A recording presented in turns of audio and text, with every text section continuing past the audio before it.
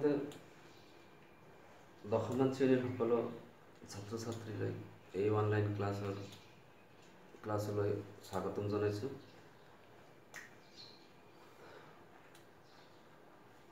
Social ছায়েন্সৰ দ্বিতীয় অধ্যায় পৰিৱেশ আৰু পৰিৱেশৰ সমস্যাৰ বিষয়ে মই আগতে আৰু দুটা ক্লাছ আপলোড দিছিলোঁ। আশা কৰোঁ সকলোৱে আগৰ দুটা ক্লাছ চাইছা। আৰু যদি চোৱা নাই তেনেহ'লে ইউটিউবত গৈ মই যিটো লিংক দি দিম সেই লিংকত ক্লিক কৰি আগৰ ক্লাছ দুটাও চাই ল'বা। আৰু আগৰ ক্লাছ দুটা চাই ল'লে ভালকৈ বুজি পাবা। আজি মই তোমালোকক ক্লাছ টেনৰ ছ'চিয়েল ছায়েন্সৰ দ্বিতীয় খণ্ড যিটো ভূগোল ভূগোলৰ দ্বিতীয় অধ্যায় পৰিৱেশ আৰু পৰিৱেশৰ সমস্যা এইটোত আগত দুটা ক্লাছ কৰিছিলোঁ। পৰিৱেশৰ অৰ্থৰ বিষয়ে কোৱা হৈছিল আৰু পৰিৱেশ পৰিৱেশৰ প্ৰধান সমস্যা ইয়াৰ বিষয়েও এটা ক্লাছত কোৱা হৈছে।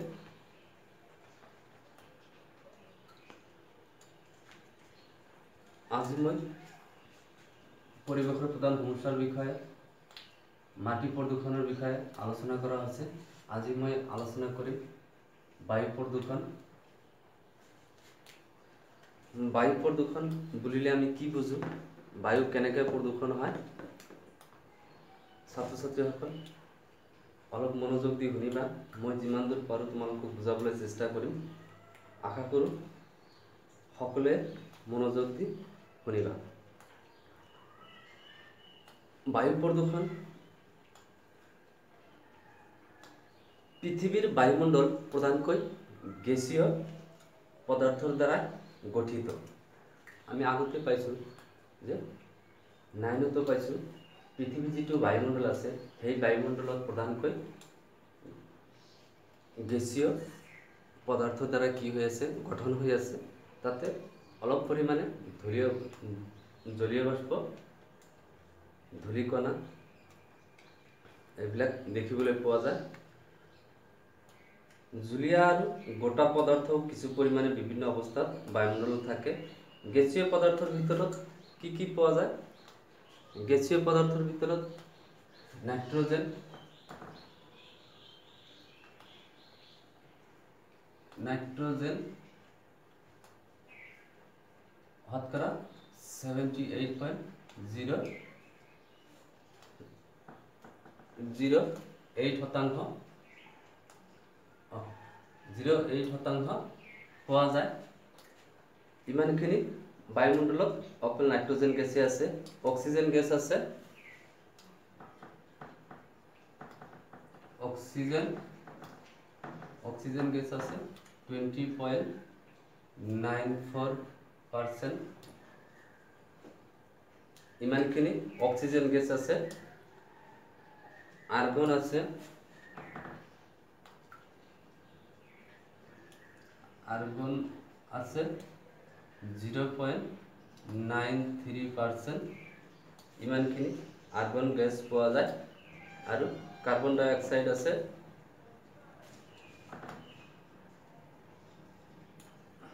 কাৰ্বন ডাই অক্সাইড অক্সাইড আছে জিৰ' দশমিক জিৰ' থ্ৰী ফাইভ পাৰ্চেণ্ট ইমানখিনি কাৰ্বন ডাই অক্সাইড আছে। আৰু বাকী অন্যান্য গেছ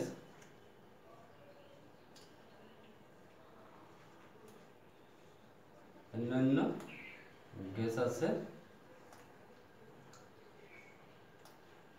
জিৰ' দশমিক জিৰ' ওৱান ফ'ৰ পাৰ্চেণ্ট এইখিনি বায়ুমণ্ডলত গেছসমূহক দেখিবলৈ পোৱা যায়। আৰু কথা হ'ল কি যে বায়ু কেনেকৈ প্ৰদূষণ হয়, বায়ু কেনেকৈ প্ৰদূষণ হয়, এই গেছসমূহ যদি বায়ুমণ্ডলত স্বাভাৱিক মাত্ৰাত যি পৰিমাণে পোৱা যায়, সেই পৰিমাণে যদি থাকে, তেনেহ'লে বায়ু প্ৰদূষণ নহয়। আৰু যদি এই বায়ুসমূহৰ যদি মাত্ৰাৰ পৰিৱৰ্তন হয় তেতিয়াহ'লে কি হ'ব? বায়ু প্ৰদূষণ হ'ব। তাৰমানে এক নিৰ্দিষ্ট অনুপাতত বায়ুমণ্ডলত যি গেছ পোৱা যায় সেই একে গেছ যদি পোৱা যায় তেনেহ'লে স্বাভাৱিক অৱস্থাত থাকে। আৰু যদি সেই একে নিৰ্দিষ্ট অনুপাতত যদি এই গেছসমূহ পোৱা নাযায় তেনেহ'লে কি হ'ব? নানান ধৰণৰ সমস্যাৰ সৃষ্টি হ'ব। আৰু নানান ধৰণৰ সৃষ্টি হোৱা মূলতে হ'ল কি? বায়ু প্ৰদূষণ হ'ব। প্ৰাকৃতিক আৰু মানৱ সৃষ্ট কাৰণত বায়ুমণ্ডলত কঠিন তৰল বা গেছীয় পদাৰ্থ সংযোজন ঘটিলে প্ৰাকৃতিক কাৰণতে হওক বা মানৱ সৃষ্ট কাৰণতে হওক যদি বায়ুমণ্ডলত কি হয়? কঠিন তৰল আৰু গেছীয় পদাৰ্থৰ সংযোজন ঘটে তেতিয়া কি হ'ব? বায়ুৰ স্বাভাৱিক অৱস্থাৰ পৰিৱৰ্তন ঘটিব। আৰু বায়ুৰ স্বাভাৱিক অৱস্থাৰ পৰিৱৰ্তন ঘটিলে জীৱ আৰু জড় পদাৰ্থৰ কি হ'ব? ক্ষতি হ'ব। জীৱ উদ্ভিদে হওক প্ৰাণী হওক আৰু জড় পদাৰ্থ আন আন পদাৰ্থ হওক কি হ'ব? এইবিলাকৰ ক্ষতি হ'ব। আৰু ক্ষতি সাধন কৰিলে বায়ু প্ৰদূষণ হোৱা বুলি কোৱা হয়। তাৰমানে নিৰ্দিষ্ট পৰিমাণত যদি বায়ুমণ্ডলত গেছসমূহৰ পোৱা নাযায় তেনেহ'লে বায়ুমণ্ডলৰ জীৱ জগতৰ ক্ষতি হ'ব পাৰে। এনে ক্ষতি হোৱা কাৰ্যকে বায়ুমণ্ডল প্ৰদূষণ বুলি কোৱা হয় বা বায়ু বায়ু প্ৰদূষিত হোৱা বুলি কোৱা হয়। বায়ু প্ৰদূষণ বায়ু প্ৰদূষণ কাক বোলে? যদি কয় তেনেহ'লে কি ক'ব লাগিব? যে প্ৰাকৃতিক বা মানৱ সৃষ্ট কাৰণত বায়ুমণ্ডলত কঠিন তৰল গেছীয় পদাৰ্থ সংযোজন ঘটিলে বায়ুৰ স্বাভাৱিক পৰিৱৰ্তন ঘটা বুলি কোৱা হয়। আৰু এনে পৰিৱৰ্তনকে এনে পৰিৱৰ্তন ঘটিলে জীৱ জ্বৰ আদি পদাৰ্থৰ কি হ'ব? ক্ষতি হ'ব আৰু এই ক্ষতি হোৱাকে বায়ু প্ৰদূষণ বুলি কোৱা হয়। বায়ু প্ৰদূষণ বুলি কোৱা হয়। আৰু বায়ু প্ৰদূষণ নানান কাৰণত কি হ'ব পাৰে? সংঘটিত হ'ব। বহুত কাৰণ আছে এই বায়ুসমূহ প্ৰদূষণ হয় প্ৰথমতে আমি এটা কাৰণ চাব বিচাৰোঁ যে বায়ু প্ৰদূষণকাৰী প্ৰাকৃতিক কাৰণৰ ভিতৰত মানৱ সৃষ্ট নহয়। প্ৰাকৃতিক কাৰণৰ ভিতৰত কি হয়? আগ্নেয়গিৰি উদ্গীৰণ আগ্নেয়গিৰি উদ্গীৰণেই প্ৰধান প্ৰাকৃতিক কাৰণৰ ভিতৰত আগ্নেয়গিৰি উদ্গীৰণ অন্যতম এটা কাৰণ আৰু উদ্গীৰণৰ সময়ত নিৰ্গত হোৱা ধোঁৱা ছাই ধূলি ধূলি আৰু গেছীয় পদাৰ্থই বায়ু প্ৰদূষিত কৰে। আৰু আগ্নেয়গিৰিৰ সময়ত যিখিনি ধোঁৱা ওলায় ছাই ওলায় আৰু গেছীয় পদাৰ্থ ওলায় সেইখিনি কি কৰে?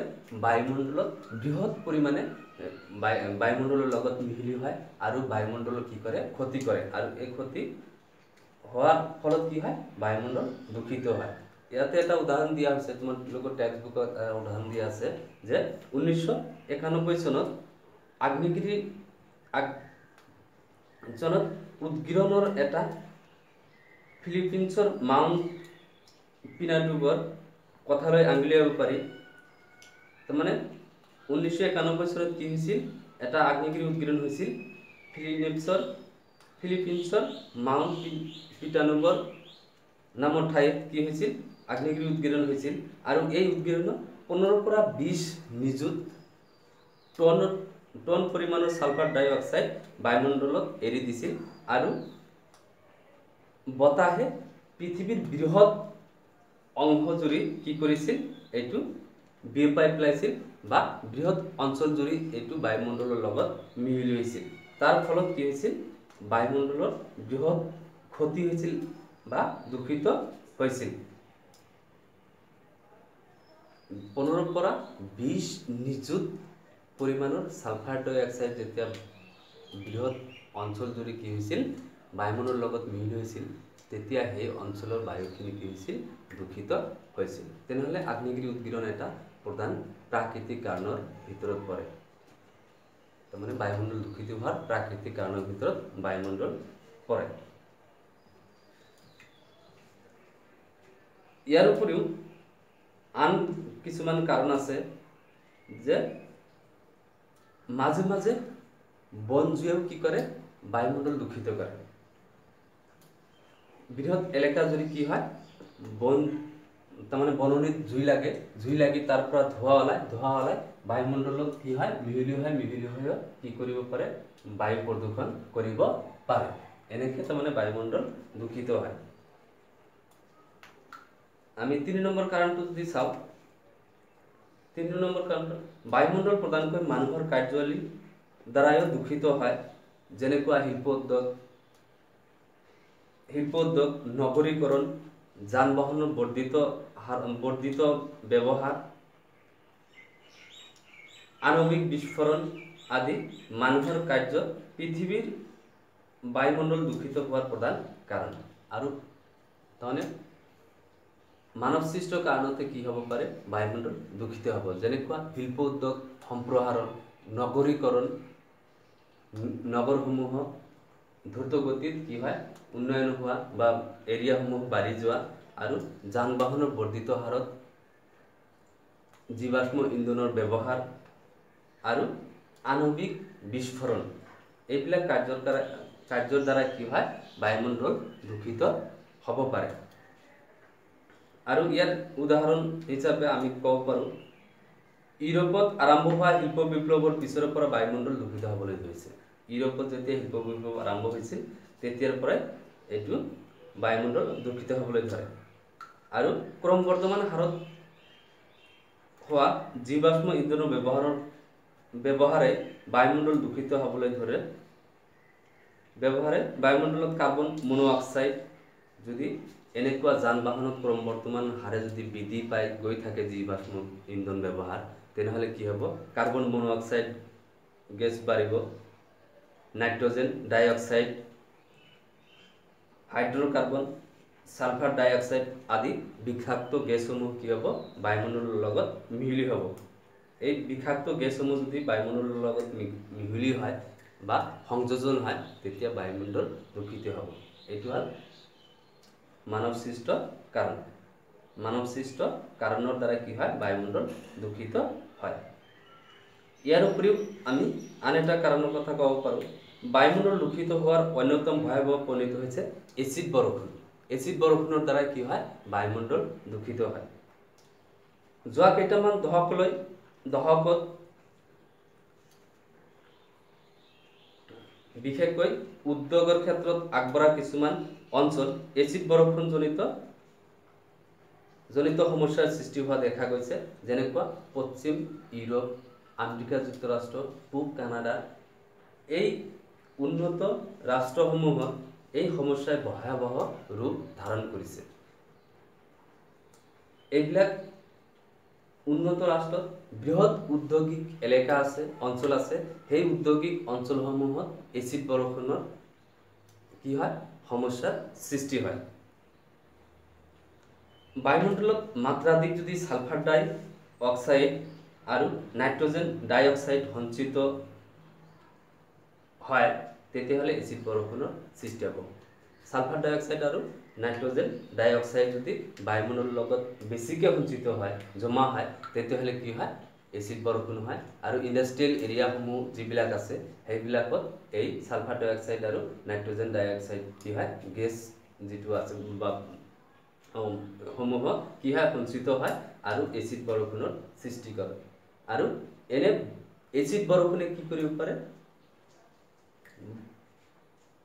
বন বননি ধ্বংস কৰাৰ লগতে খাল বিল নানান জীৱ জন্তু আৰু পানীও কি কৰিব পাৰে দূষিত কৰিব পাৰে। এইবিলাক কাৰণত কি হয় বায়ুমণ্ডল দূষিত হয় বা বায়ু প্ৰদূষণ হয়। তেনেহ'লে নিশ্চয় গম পাইছা বায়ু কেনেকৈ প্ৰদূষণ হয় আৰু বায়ু প্ৰদূষণ কাক বোলে। এতিয়া আমি আলোচনা কৰিম পানী প্ৰদূষণ। পানী প্ৰদূষণ কাক কয়? বা পানী প্ৰদূষণ কেনেকৈ হয়? বায়ুমণ্ডলৰ দৰে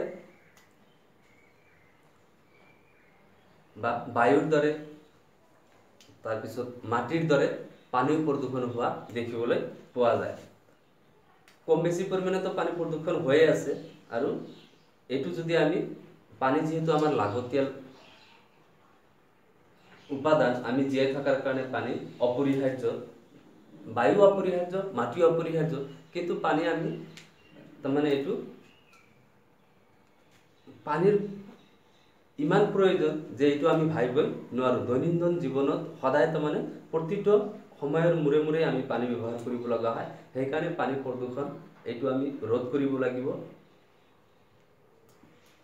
পানী প্ৰদূষণ কেনেকৈ হয়? পানীৰ লগত কোনো ৰাসায়নিক পদাৰ্থ পদাৰ্থ পদাৰ্থ কণা অনুজীৱ, বিকিৰণ আদি মিহলি হৈ পানীৰ স্বাভাৱিক গুণৰ পৰিৱৰ্তন ঘটিলে তাকে পানী প্ৰদূষণ বুলি কোৱা হয়। পানীৰ লগত যদি পদাৰ্থ পদাৰ্থ কণা অনুজীৱ, বিষাক্ত আৱৰ্জনা এইবিলাক যদি মিহলি হয়, তেনেহ'লে বায়ুৰ স্বাভাৱিক যিটো গুণ থাকে, এইটো কি হয়? পৰিৱৰ্তন হয়। আৰু এই স্বাভাৱিক গুণ পৰিৱৰ্তন হোৱাকে পানী প্ৰদূষণ বুলি কোৱা হয়।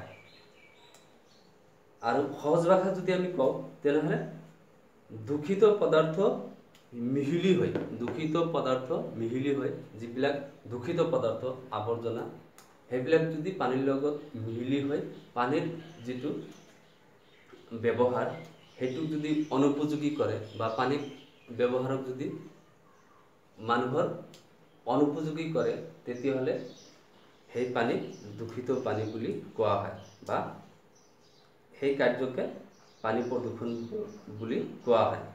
সাধাৰণতে পানী প্ৰদূষণ কেনেকৈ হ'ব পাৰে? যে মানুহ যদি পানীৰ যিটো উৎস পানী য'ৰ পৰা আহে বা হয় পানীৰ উৎসত যদি মানুহৰ বসতি বসতি কৰে। মানুহৰ যদি বসতি স্থাপন কৰিব লগা হয় পানীৰ উৎসত বা উদ্যোগ স্থাপন কৰে বা কৃষি কাৰ্য কৰে এইবিলাক কৰাৰ ফলত কি হয়? তাৰ পৰা নিৰ্গত অপদ্ৰব্য পানীত মিহলি হৈ পানী প্ৰদূষণ কৰে।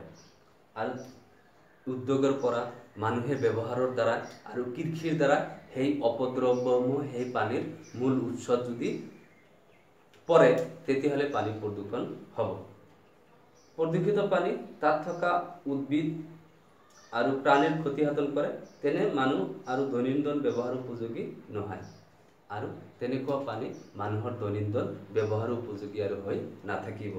আৰু নথা নথকা হ'লে কি হ'ব? সেই পানীখিনি প্ৰদূষণ হোৱা বুলি আমি কওঁ। ইয়াৰ উপৰিও আন এটা কাৰণ আছে। সাধাৰণতে উদ্যোগিক আৱৰ্জনা আৰু নগৰৰ পেলনীয়া পদাৰ্থই নগৰ অঞ্চলৰ মাজেদি বা কাষেদি কাষেদি প্ৰবাহিত নদ নদীৰ পানী প্ৰদূষিত কৰে উদ্যোগত যিবিলাক আৱৰ্জনা থাকে। নগৰৰ যিবিলাক পেলনীয়া বা আৱৰ্জনা থাকে। সেই সেইবিলাক যদি কাষেদি বৈ যোৱা নদীত যদি মিহলি হয়, তেতিয়াও কি হ'ব পাৰে? পানী প্ৰদূষণ হ'ব পাৰে। আমি উত্তৰ, উদাহৰণ হিচাপে উত্তৰ ভাৰতৰ মাজেদি বৈ যোৱা গংগা নদীৰ কথা উল্লেখ কৰিব পাৰোঁ। উদাহৰণ হিচাপে এই নদীৰ পাৰত অৱস্থিত ডাঙৰ ডাঙৰ নগৰ মহানগৰ আৰু উদ্যোগবোৰত উদ্যোগবোৰে সেইবোৰত উৎপন্ন হোৱা আৱৰ্জনা আৰু অপদ্ৰব্যৰ দীৰ্ঘকাল ধৰি সেই গংগা নদীত পেলোৱাৰ ফলত সেই পবিত্ৰ গংগা নদীখন আজি কি হৈছে? অপবিত্ৰ নিচিনা হৈ গৈছে। পবিত্ৰ গংগাৰ পানী সম্প্ৰতি বেয়াকৈ প্ৰদূষিত হৈছে।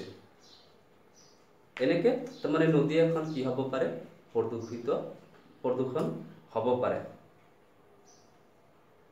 সেইদৰে আমেৰিকা যুক্তৰাষ্ট্ৰত চলা এটা সমীক্ষাৰ কোৱা হৈছে যে পঁচপন্ন শতাংশ নদী কি হয়?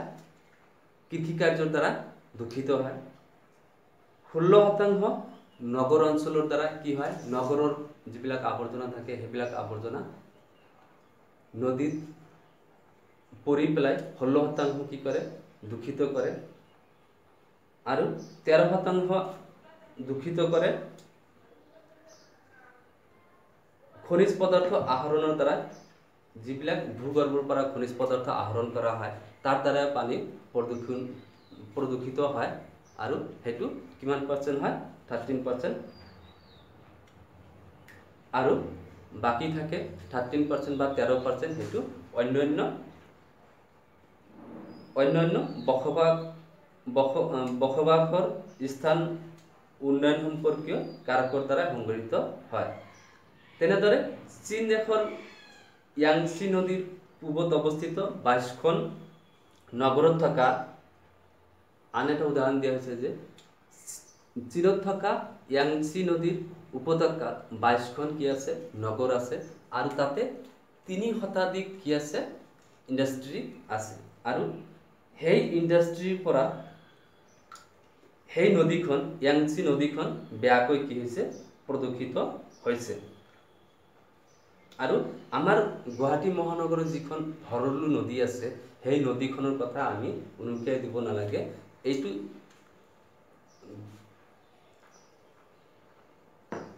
আমাৰ গুৱাহাটীৰ গোটেই মহানগৰৰ যি আৱৰ্জনা বা যি শিল্প উদ্যোগৰ পেলনীয়াই কিদৰে প্ৰদূষিত কৰিছে তাক আমি সকলোৱে জানোৱেই সেইটো আমি ক'বলগীয়া একো নাই। এই নৈসমূহ এই নৈবোৰ প্ৰদূষণ মুক্ত কৰাটো সংশ্লিষ্ট ৰাষ্ট্ৰসমূহৰ এটা ডাঙৰ প্ৰত্যাহ্বান হৈ পৰিছে। এতিয়া এই নদীৰ যিটো প্ৰদূষণ হৈছে বা নদীৰ পানী যি যি প্ৰদূষণ হৈছে সেইটো গোটেই ৰাষ্ট্ৰবিলাকৰ এটা প্ৰত্যাহ্বানৰ সন্মুখীন হ'ব লগা হৈছে।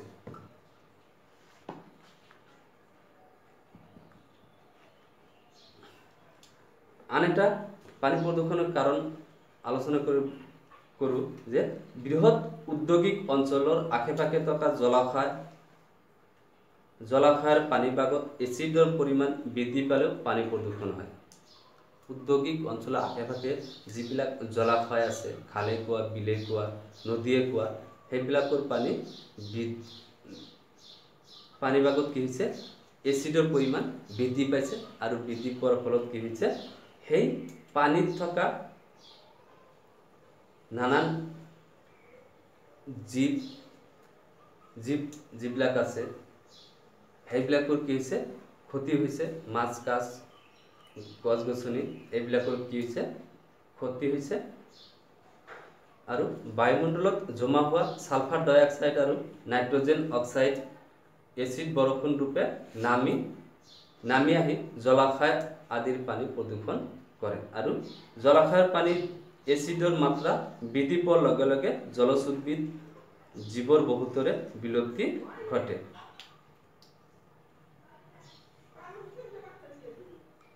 আন এটা কাৰণ আমি উল্লেখ কৰিব বিচাৰিছোঁ যে পানী প্ৰদূষণৰ আন এটা কাৰণ হ'ল তেলবাহী জাহাজ দুৰ্ঘটনা দুৰ্ঘটনাগ্ৰস্ত হ'লেও সাগৰৰ পানী প্ৰদূষিত হয়। এইবিলাক কাৰণত কি হয়? পানীবিলাক প্ৰদূষণ হয়। এইবিলাক তোমালোকে আগতেই পাইছা। পানী মাটি বায়ু প্ৰদূষণ। এইবিলাক ইমান কঠিন নহয়। তোমালোকে এবাৰ টেক্সট বুকখন চালে ভালকৈ বুজিবা। আৰু আশা কৰোঁ সকলোৱে বুজি পাইছা। ইয়াৰ নেক্সট ক্লাছত মই মৰুকৰণৰ বিষয়ে তোমালোকক বুজাবলৈ চেষ্টা কৰিম আৰু কোনেও যাতে ক্লাছবিলাক মিক্স নকৰা সকলোৱে ক্লাছবিলাক ভালকৈ বুজিবা আৰু টেক্সট বুকখন অলপ চাই ল'বা। থেংক ইউ ধন্যবাদ।